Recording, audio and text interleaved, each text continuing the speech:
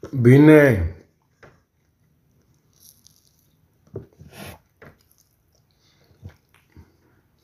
el 29 de febrero del 2019, un año bisiesto. ¿Y por qué escogí El Salvador? Realmente no lo escogí. A mí me mandaron aquí y pensaba que no me iba a gustar. Pero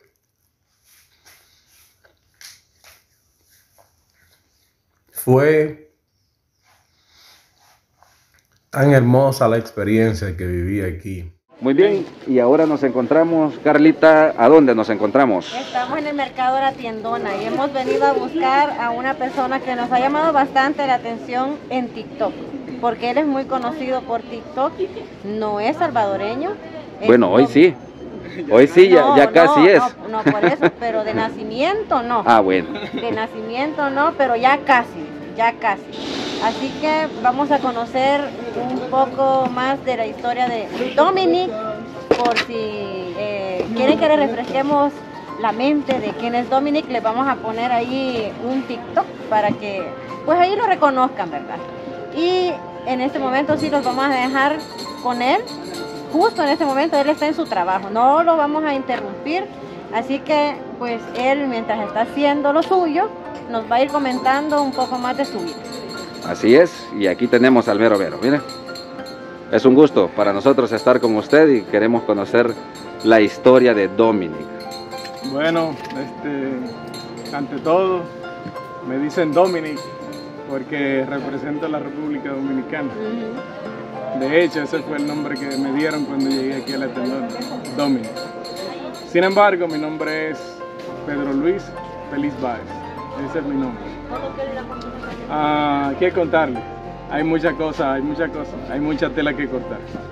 Sin embargo, quiero concentrarme en tres, en tres cosas importantes. La primera es que tengo 11 hermanos más. Somos 12. La O sea que hay un cambio de fútbol ahí. Sí, hay un equipo de fútbol. hay un equipo. Sería un equipo de béisbol en Dominicana. Ah, ok, Sí. es cierto. Más que el fútbol. Este, seis hembras y, son, y conmigo son seis varones también. Entonces estamos completos. Gracias a Dios están vivos todos. Mi papá, mi mamá igual.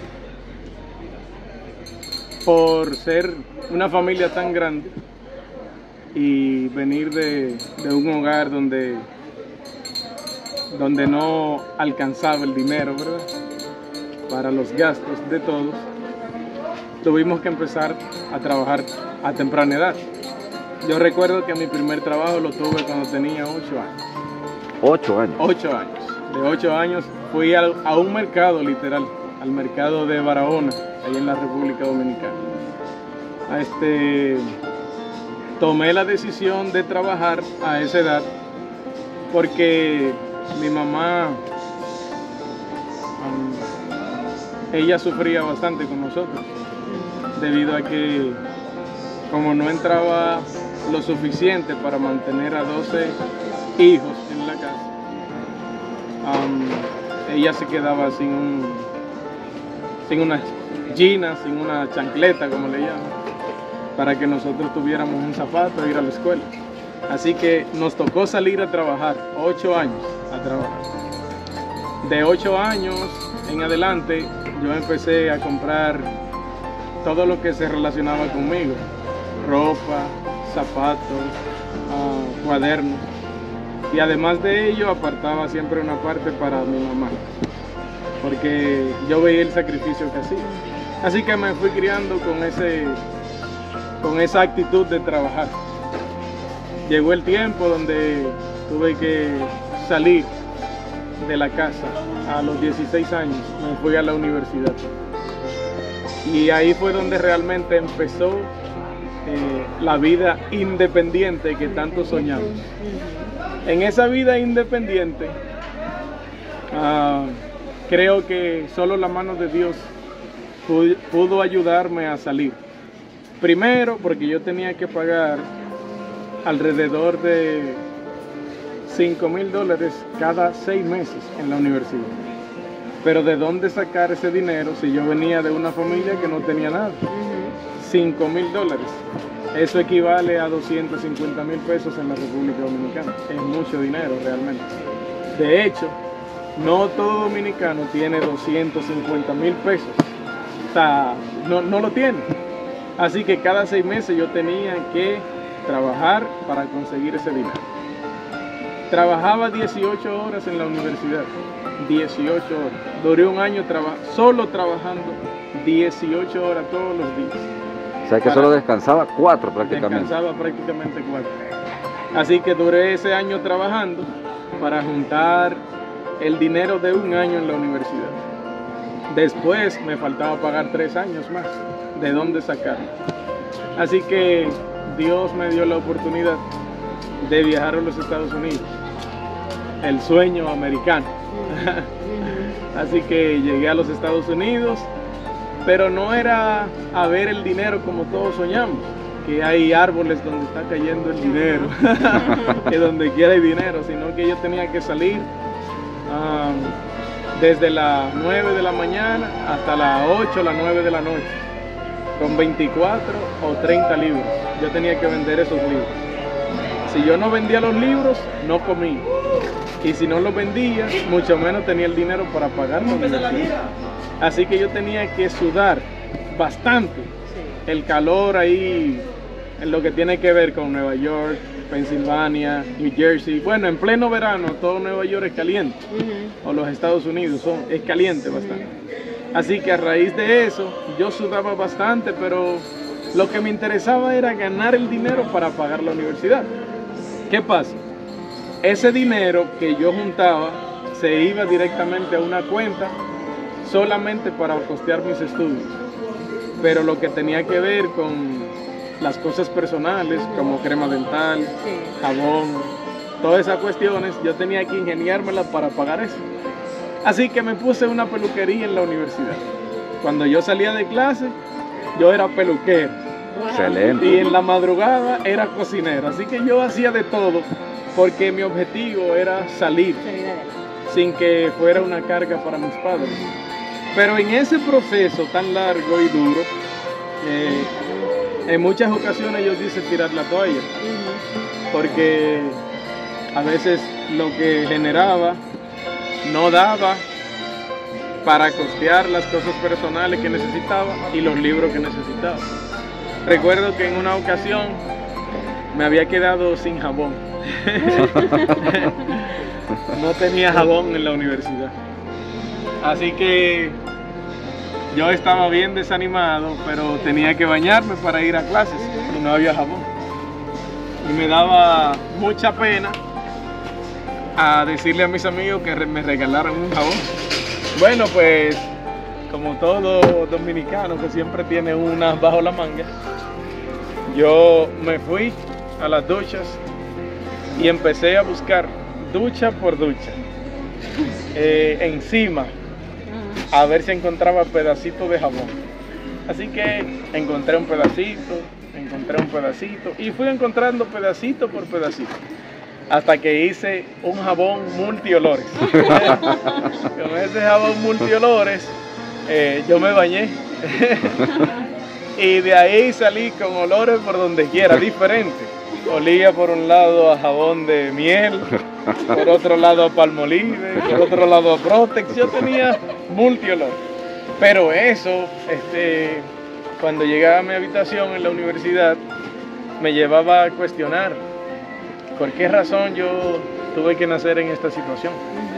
¿Por qué yo tuve que ser pobre? Siempre fue la pregunta que invadió mi mente. ¿Por qué me pasa a mí? Hasta que en una ocasión yo me di cuenta que la pobreza no era la escasez, sino un estado mental, Correcto. un estado mental.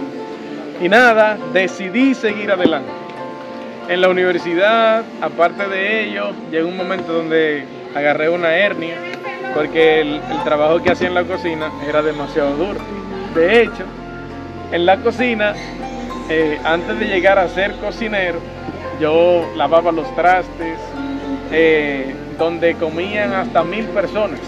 Yo tenía que lavar los vasos, los tenedores, las cucharas. absolutamente todo. Y había unos grandes peroles así, que agarraban 25 libros. Y yo tenía que lavar eso. Así que en una noche, era aproximadamente las 11 ya, yo tenía que lavar. Pero no quería ya, me sentía cansado. Me fui al sótano de la universidad y dije, Señor, envía a tus ángeles que me ayuden. y cuando subí, eh, con los ojos cerrados a ver si realmente ocurrió un milagro, no pasó nada. Ahí estaban los trastes. Yo tenía que lavar y volví, Señor, tal vez oré eh, sin fe. Yo quiero que, que envíe un ángel para que me ayude. Ya estoy cansado. Tenía los brazos pelados por todas partes de la lejía ligado con el, con el rinzo. Hasta que no envió un ángel literal, pero llegó un amigo. Se convirtió en mi mejor amigo en ese momento, Joan Vicente. Me ayudó bastante. Fuimos compañeros de clase por los cuatro años. Y al final, este, en tantas dificultades y vicisitudes, yo pude ver que Dios me permitió graduarme de teología sin ser una carga para mis padres.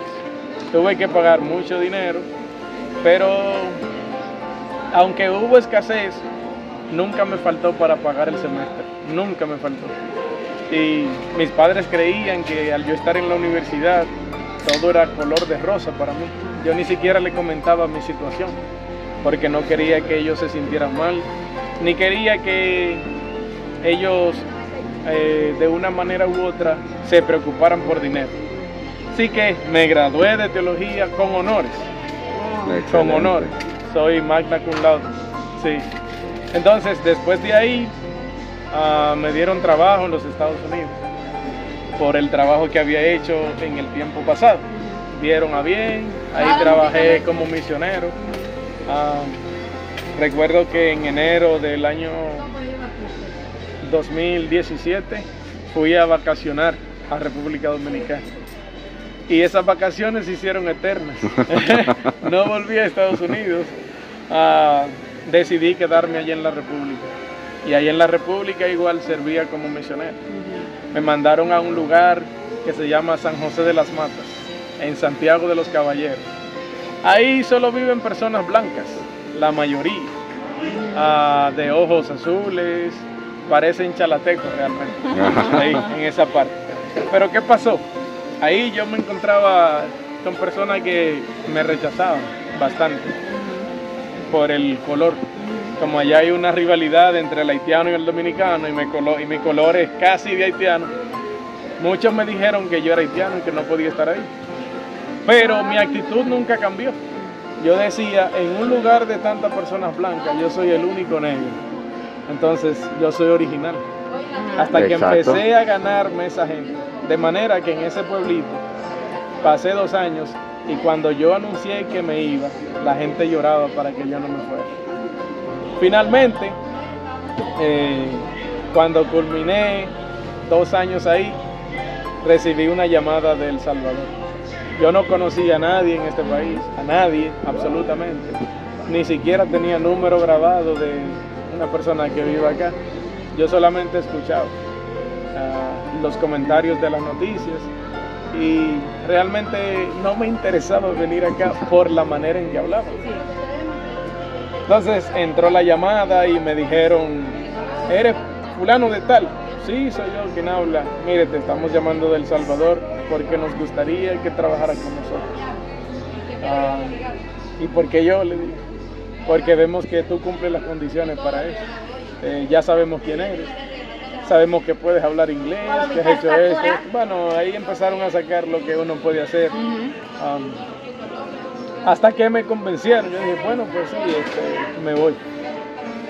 Mi mamá me apoyó, pero luego mi hermano mayor la llamó y le dijo que no, porque ahí mataban a la gente, que no fuera El Salvador, que era peligroso, que ahí no se podía ir de un lugar a otro, y etcétera, etcétera, etcétera. Lo mismo que siempre se dice. y yo dije, bueno, ya yo di mi palabra. Y como el hombre vale por su palabra, yo voy a cumplir mi palabra. Me vine para El Salvador eh, mientras el avión venía en el aire, yo decía, ¿será que podré trabajar allá o será cierto lo que me dice mi mamá o lo que dicen las noticias? Pero cuando yo salí del aeropuerto, me di cuenta que no era tanto como lo pintaba la gente. Llegué, mi primer día pasé por los Quinta, el lugar de las pupusas. y lo primero que probé en El Salvador fueron las pupusas. Frijol con queso de arroz. Mm. Y me gustaron tanto que desde, desde ese momento es mi plato favorito. Usted me puede dar pupusas en la mañana, en la tarde, al mediodía, en la noche, en la madrugada, a cualquier hora. Que siempre y cuando sea de arroz y frijol con queso, será bienvenido. O sea, no rechazo pupusas de frijol con queso.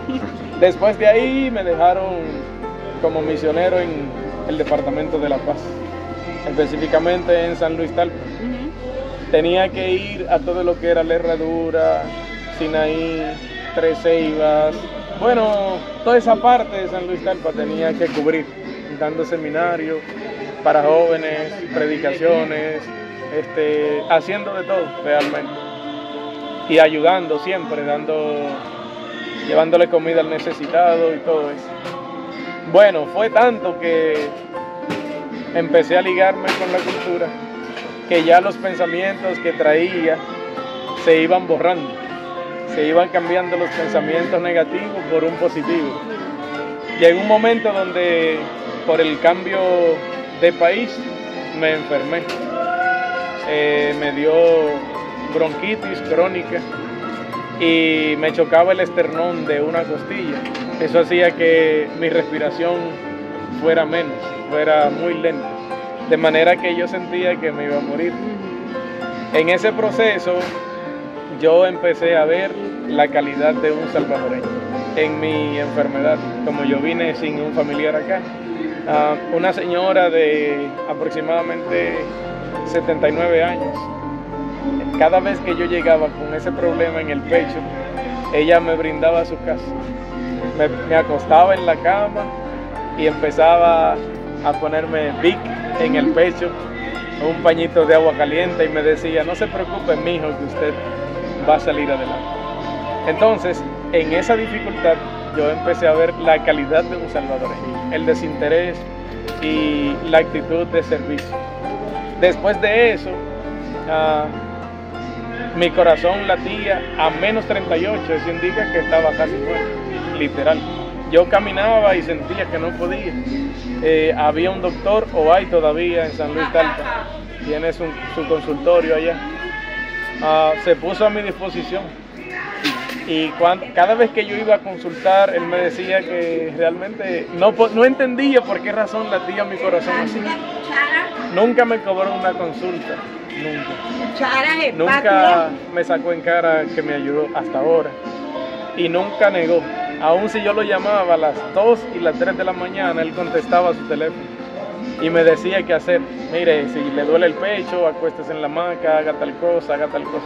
Y eso realmente empezó a, a, cambiar mi ideología o los pensamientos que yo traía de Dominicana, pensamientos negativos por pensamientos positivos. Fui conociendo mucha gente en el camino de la misiología, de manera que empecé a enamorarme del país. Eh, después de dos años de misión, yo decidí emprender, decidí trabajar. Pero cuando me retiré de la misión, me quitaron la residencia que tenía, el carro, perdí absolutamente todo, porque ya quería ser independiente. Cada acción trae una reacción. Así que, ¿qué voy a hacer? No tengo nada, no tengo ni siquiera tenía dinero, nada tenía. Hubo un personaje llamado Feliciano Pereira, que conocí en el departamento de San Vicente, vive aquí en San Salvador. Me dijo, no te preocupes, yo te voy a echar la mano. Pero yo no tengo dinero, le decía, no te preocupes. Él tiene platanera de este lado. Y me dijo, yo te voy a llevar a mi platanera para que aprendas a trabajar. Y cuando tú te desempeñes bien, entonces yo te voy a poner una platanera. Yo no tenía dinero ni nada. Así que, ¿y dónde voy a dormir si yo en San Salvador no tengo nada? Hubo otro amigo que me dijo, no te preocupes, yo tengo una casa y allá tú puedes llegar.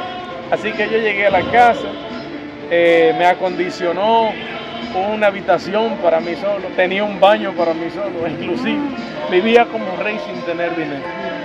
Eh, duré seis meses viviendo en esa casa.